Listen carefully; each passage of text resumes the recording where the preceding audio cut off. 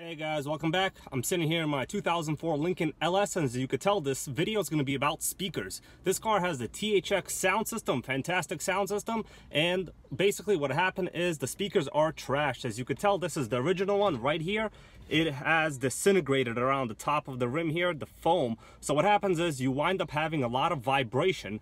And you know what? You're not supposed to be able to see yourself through the speaker. So we have a hole right here. This is the factory speaker to this vehicle. I was able to find exactly identical brand new ones. I have two of these. Uh, these were $123. I'm going to put the link in the description below so you guys can pick them up. The reason I went with these originals and they are exactly the same spec, same watt. So these are 45 watt uh, 2 ohm rated speakers, identical to the actual factory ones in this 04 uh, LSV8. Uh, which is also similar to a lot of the Alpine systems from 2002 to 2006. Now, once again, the reason I went with these is because they have factory wiring. So this is the original wiring harness to this vehicle. Uh, what you can do, you could also buy regular 6x9 speakers like this at pretty much any uh, audio store, Walmart, wherever you want. But you will have to wire it yourself. So Let's just take a look at it. This is the factory one, the same exact wiring system. So these are pretty much as plug and play as you could possibly get. Just open up the rear deck. I'm gonna show you guys exactly what I did. Take out the speaker covers. These are what the speaker covers in the back look like. They uh, pretty much come out really easily. All you do is squeeze this grill like this and they will pop out. These are little side protector things. They go inside uh, the rear deck and you're good to go. All you have there to secure them are four screws like this. So you take out four screws with a small wrench like this. This is, I'll tell you the bit I'm using, a nine millimeter uh, head right here. Four, you plug it back in and you're good to go. For $123, you can keep the system stock and sounding good and thumping just like the way I like my bass.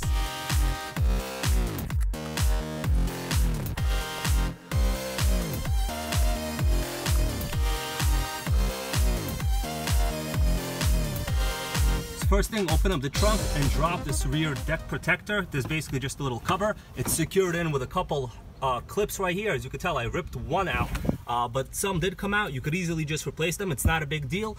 Come to your speaker and disconnect the speaker wire itself. Next thing, remove the rear headrest just to get a little bit more working space here. And then we're gonna remove the grill cover. So I'm gonna squeeze it in and hopefully it'll come out easy.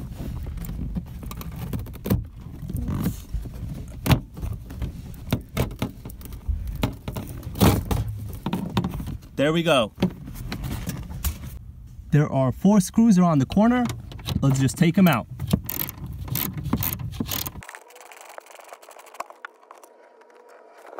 Now we can just remove the speaker. This cover is already kind of disintegrated and fallen off. And the speaker will just lift out.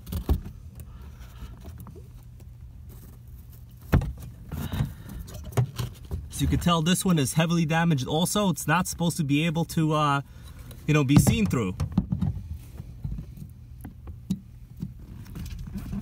This is the brand new speaker. Its insulation is the reverse. Just drop it in and bolt it up.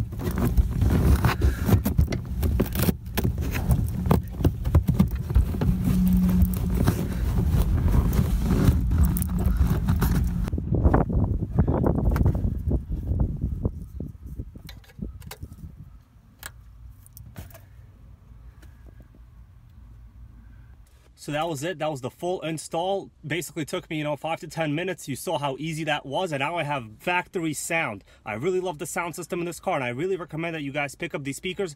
I already listened to them. And I'll tell you this, they sound identical to the factory speakers. Um, really good subwoofer. And as you saw, very easy to connect to the car. No issues. You're not going to short out anything. You don't even have to solder anything. So if you guys have a couple of these blown speakers. Now, they're not actually blown. They just vibrate a lot because of the cone. There's a lot of missing material here. You should pick up a pair just like this and you'll be good to go. Thanks.